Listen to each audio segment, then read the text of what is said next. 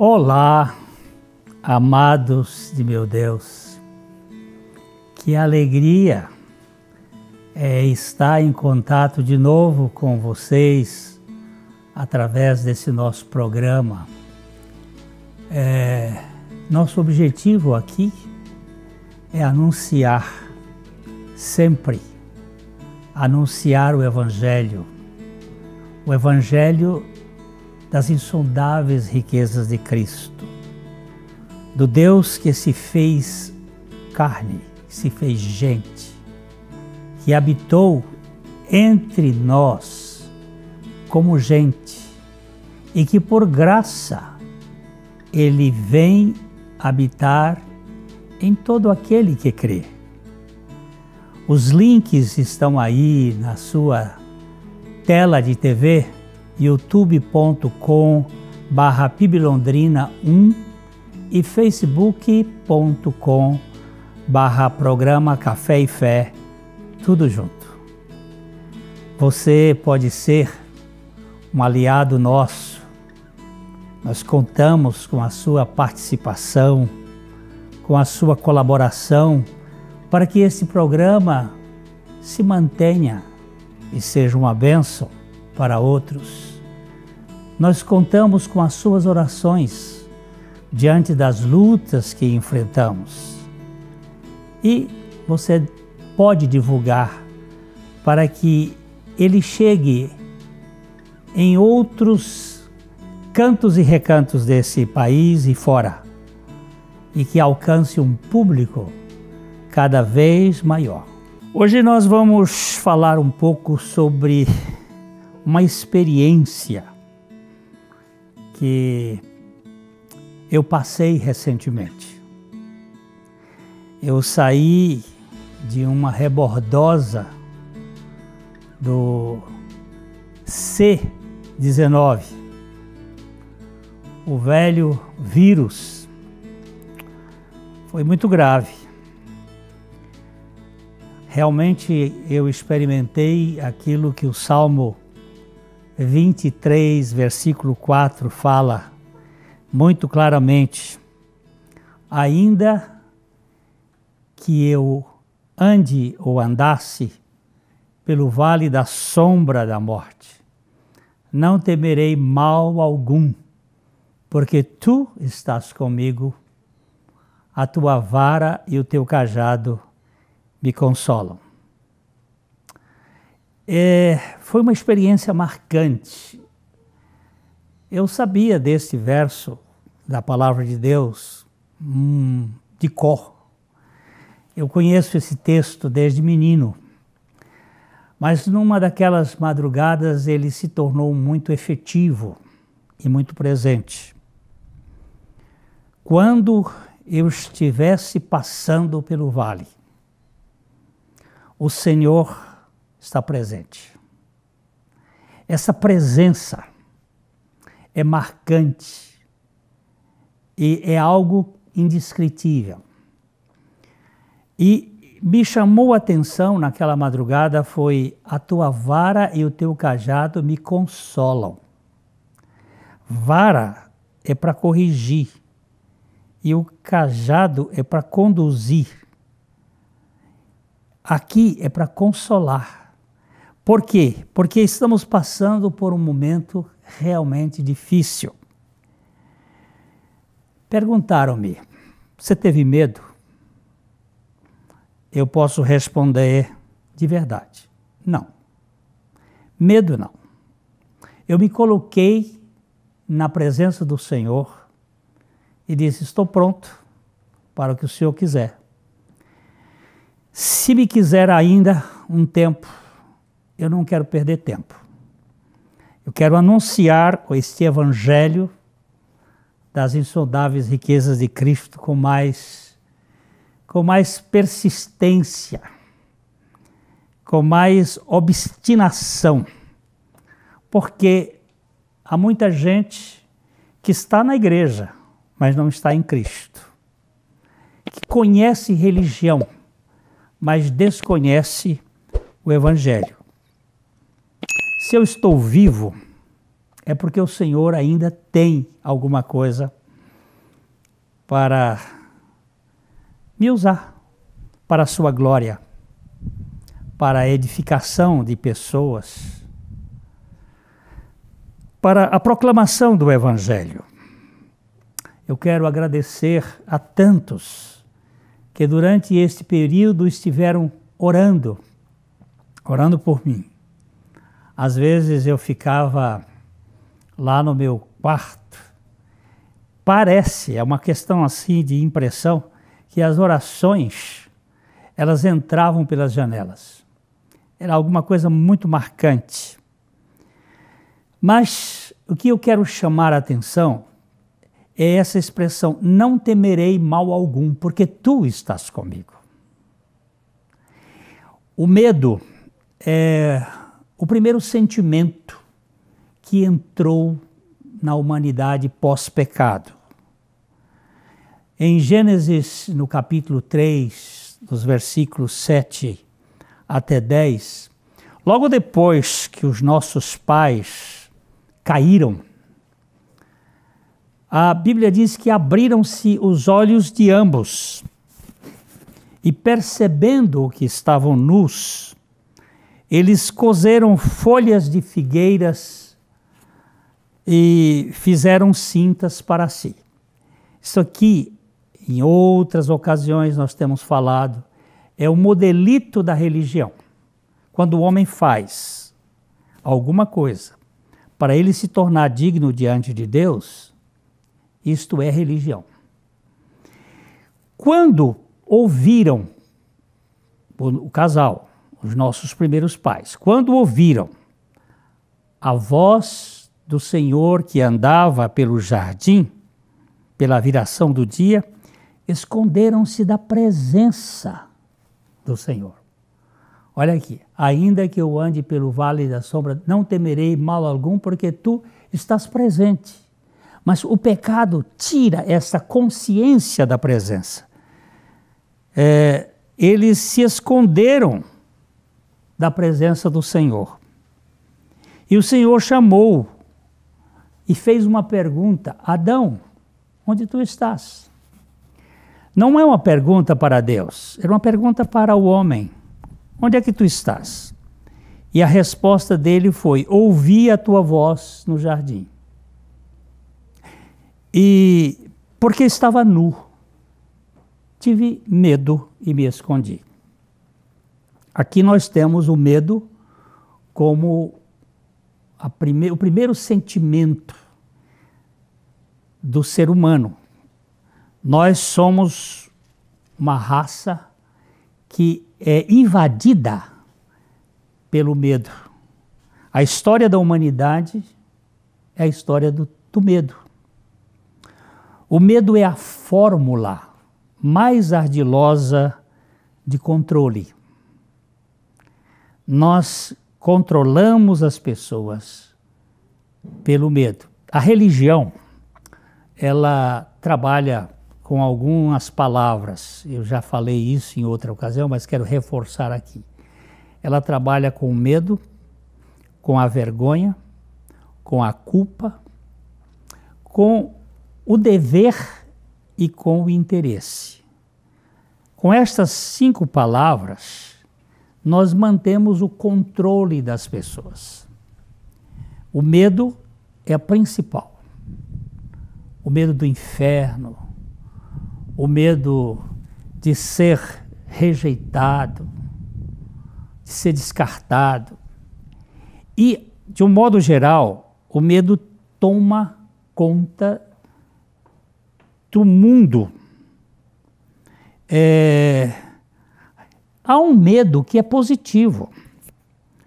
É o medo de cair num buraco, medo do perigo real. Não este medo, não esta fobia generalizada. A criança, ela, ela não tem medo inicialmente. Ela aprende a, as coisas que são perigosas com os pais.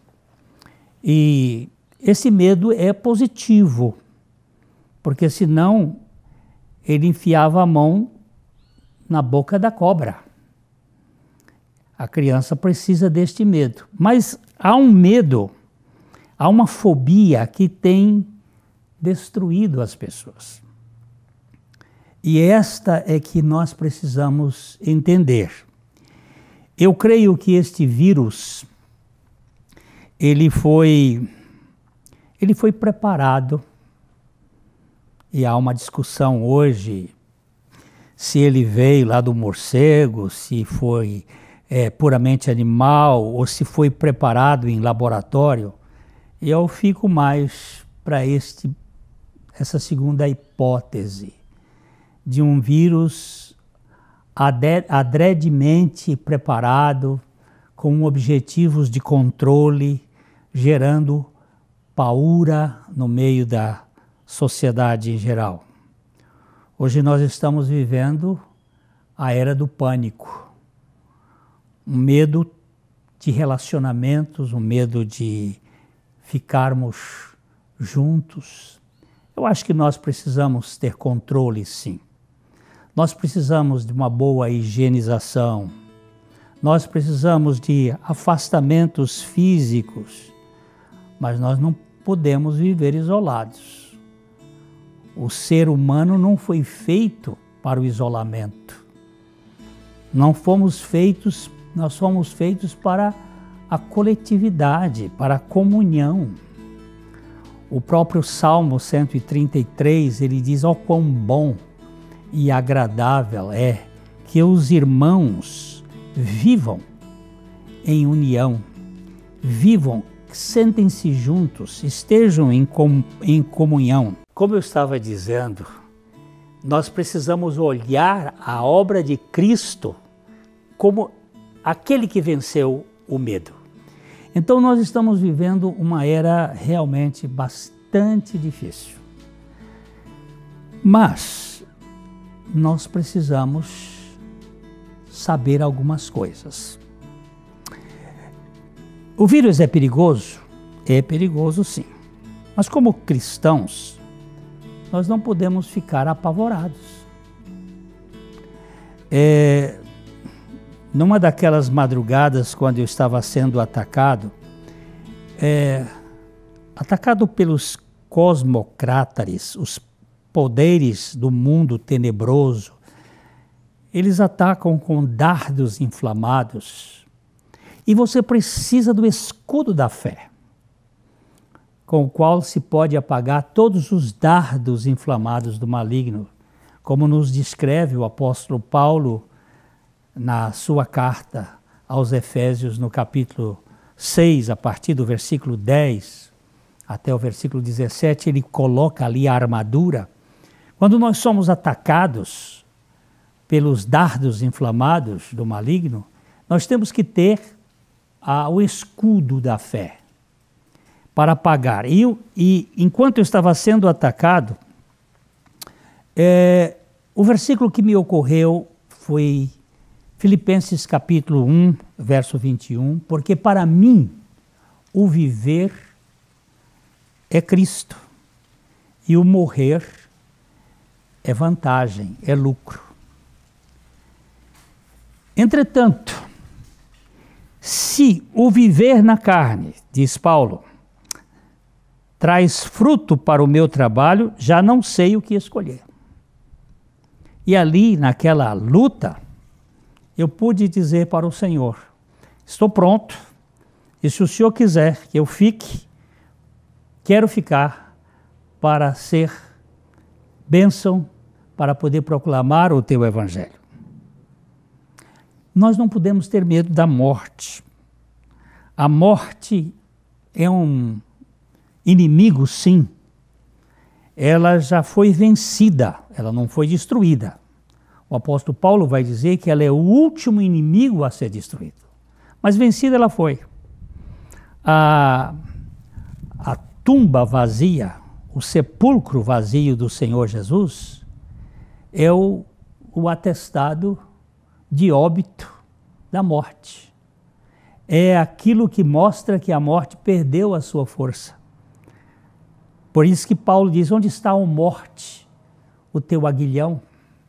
Onde é que está a tua vitória?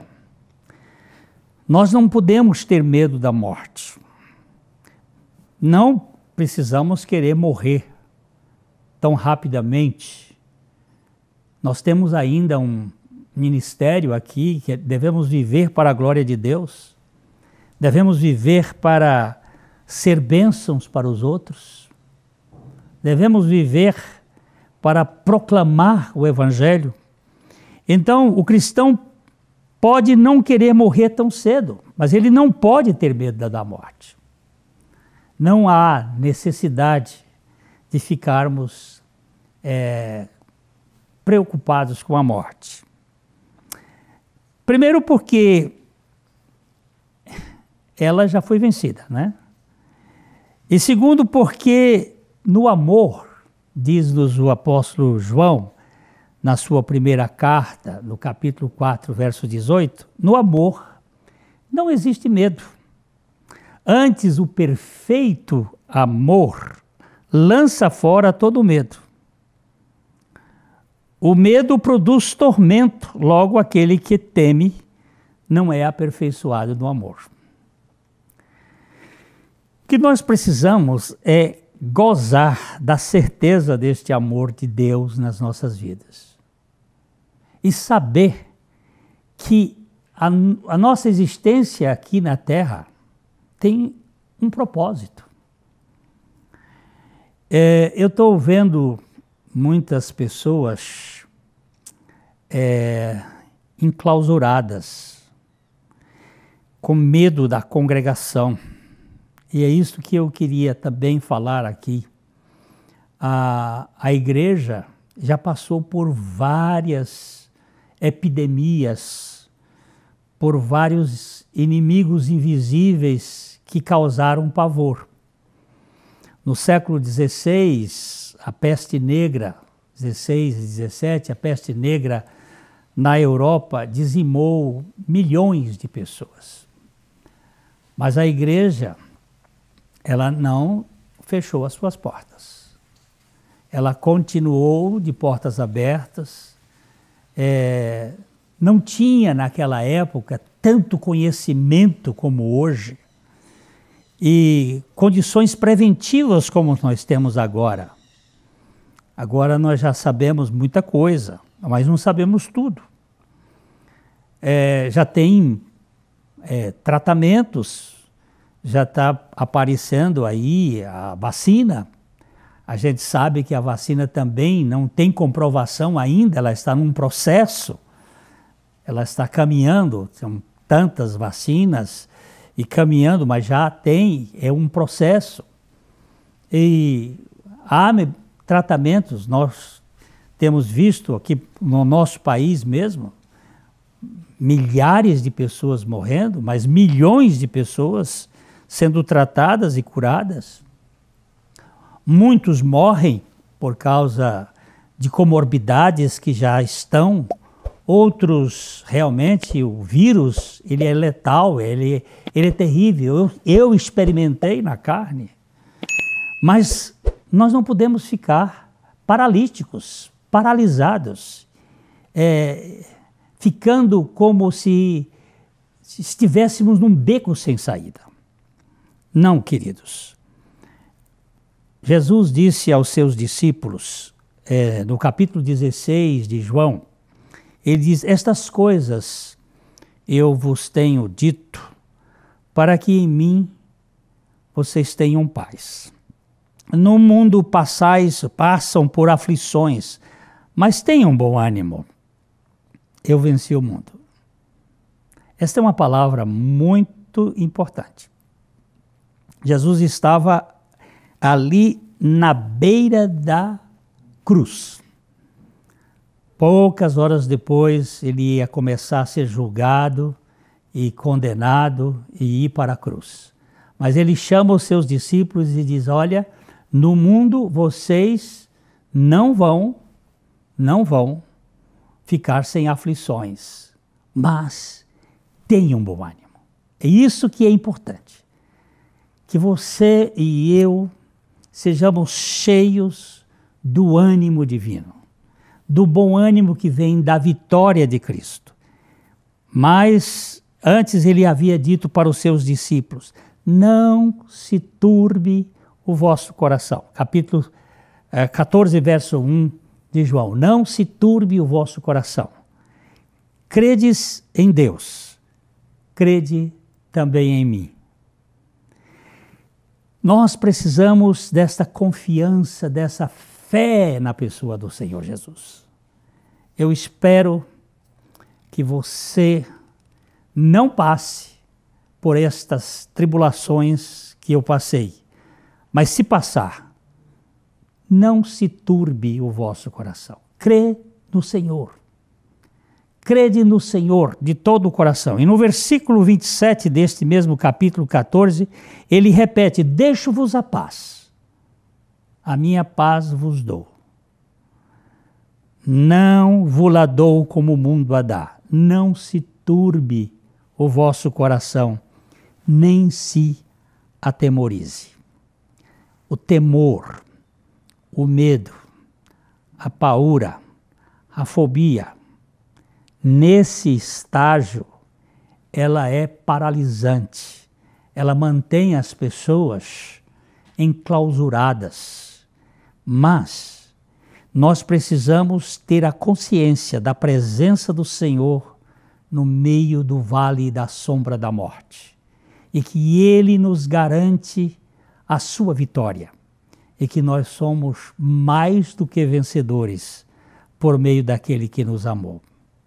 A nossa conversa hoje aqui é uma conversa de experiência pessoal à luz da palavra de Deus, para que cada um de nós experimente de fato a realidade do Evangelho, não como uma filosofia de vida, não como uma doutrina, mas como uma realidade vivenciada por meio da revelação do Espírito Santo em nossos corações. A nossa a palavra é que você e eu, que nós sejamos encharcados da suficiência de Cristo e que possamos ser partes desse projeto de Deus para este mundo, levando a paz, levando o Evangelho na confusão, no caos. Só Jesus Cristo pode trazer a realidade de esperança para um mundo em confusão. Que Deus abençoe profundamente a sua vida, como Ele tem abençoado a minha. E eu falo isso assim de coração para coração, para que você e eu conheçamos o Senhor Jesus de fato aquele que morreu na cruz. E naquela cruz ele nos incluiu com ele na cruz, para que nós morrêssemos para este mundo de dominação e vivêssemos uma nova vida mediante a sua ressurreição. Até o nosso próximo programa, se o Senhor assim permitir. Um grande abraço de coração para coração.